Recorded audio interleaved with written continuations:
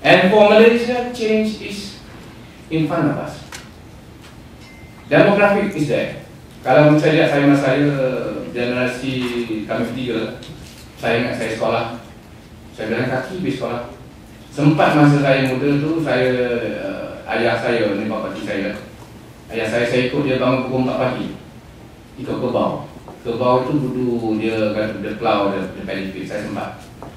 Saya belajar even up to my A level. Saya masih pakai printer. No, tidak sampai my kampung yet. My my my time dah. Pokok my children are different. Orang kata belum lagi keluar pada puak mak ni dan naik pada bang. yeah, of course. Different. So one of my daughter is now studying at CHUM. My youngest, uh, 40 years old, di Connecticut. Her world, your world. My other daughter in in MIT, went to enroll there. My son, the Imperial College, final year engineering mechanical. And my other daughter is in, in uh, Switzerland, what, 11. Their world and your world is going to be different world. The question bagaimana kita menanami perubahan ini yang akan berhadapan dengan kita. Saya bagi sedikit sangat contoh yang saya tangani. Sebagai contoh, saya nak belajar, saya nak meniaga. Modal tak ada. I remember I went to the bank.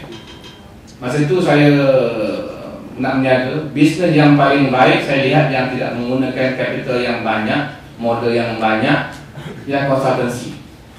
Macam doktor, mana tu modalnya kan? You you signing, signing. Kan? I want to borrow 50,000. So I just knock the door of a bank. Kita balik pada PhD gila kau. Kan tak, pada tu saya saya second or third Malay dapat PhD oh, jalan dah macam Melayu pun you're proud lah you do something? Apa you proud. Yourself you're not proud of what you do. Then you not able to sustain it in the first place. You have to be proud of what you do. Dan lebih lah. Rasakan kita terbawa dalam bisik ketuk-ketuk pintu aku ada PhD tak jumpa buat meja. Nak minta pinjam 50 ribu nak buka saya punya firm pasal ada sifar apa dia bahasanya Tengah dia cakap dengan saya, tengah cakap dengan girlfriend dia. Insulting me. Taubat saya dah nak jumpa orang minta apa tolong kalau tak kenal dia. But next now what I did, saya tanya ke muka dong saya, geng saya Megok, siapa kenal bank manager yang baik tu? Apa boleh ni? Aku kata kau juga aku bila. Ada bank manager ni, ada time Afin Bank, dia kata dia kawasan Seputih. Dia kawasan Cina, dia kata banyak kota Melayu, dia kata banyak tak pakai. Engkau mau pergi tu, jumpa kan, kita jumpa apa je? No, dia kata, no, ayo, okay, jom kita main golf. Tapi kau mana aja? Okey. Dia kata dia suka main golf ni, aku pinjam dia cari apa yang pakai pandang golf paling baik. Borak main golf sekali. Ha. Lepas tu dia balik lagi kata, dia kata, kalau kau cepat ni kau janji lah nak panggil lah tak pergi main golf, tak pergi dekat, dekat Medan. Kata Medan tak biar kau ke Singapura lah. So, pergi Singapura naik kereta, duit tak sangat kau nak beli dia. Pergi Singapura golf, tidur jual. Tak mampu tidur di Singapura. know what? Di Singapura dia bawa saya, cek RM50,000. Tak payah pergi bank, approve. What's the message? Is that in business, it's not what you can offer, it's what they is important to help you out. So dari situ saya bacakan bahawa networking itu penting sebagai contoh dalam PNF. You must know the person you need to you need and you counsel for your support and help. You must have a networking with him. If you see him green field or her green field, forget it. Mungkin ada.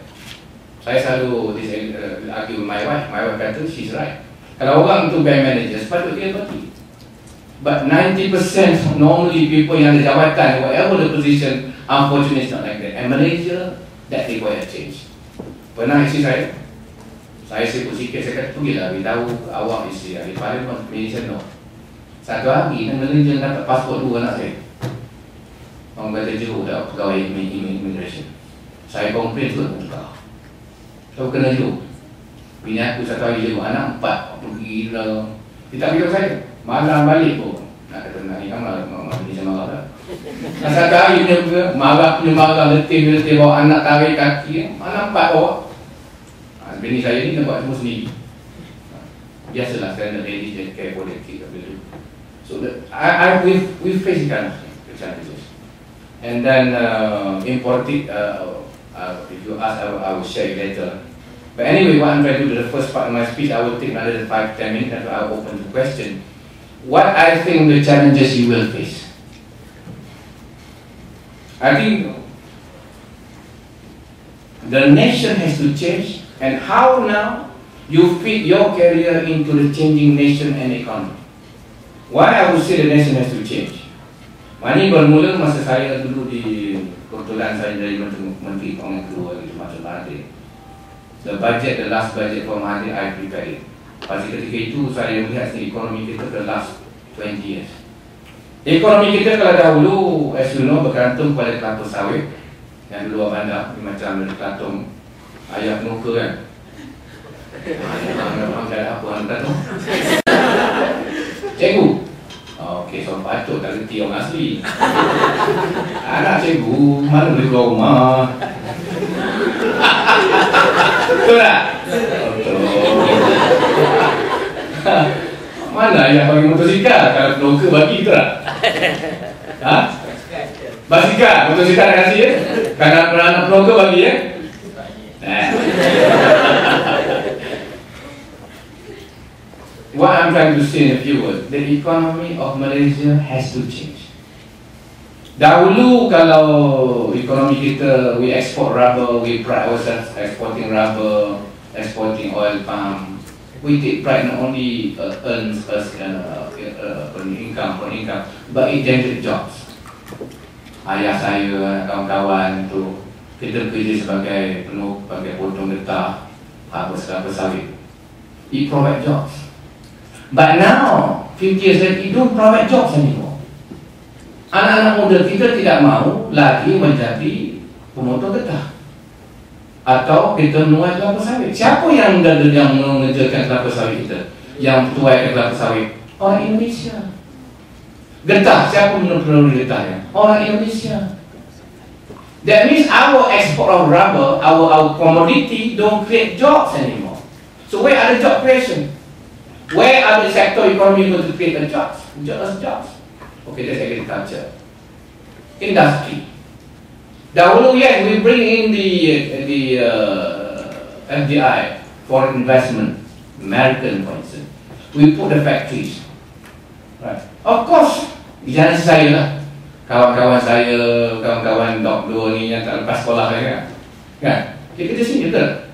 Kadang-kadang some people very condescending kata dia orang minahkal dan uh, makal dan berat condescending ni kan tetapi jangan lupa kalau tak ada peluang kerja ini kawan-kawan kita yang begitu tak begitu orang bernasib baik where do they get job? kali provide them job couple husband and wife seribu lebih seorang seribu dapat dua ribu Alhamdulillah tapi gitu sekarang those industri yang low end itu yang pekerja di mana? siapa? Bangladesh ha. Nepal.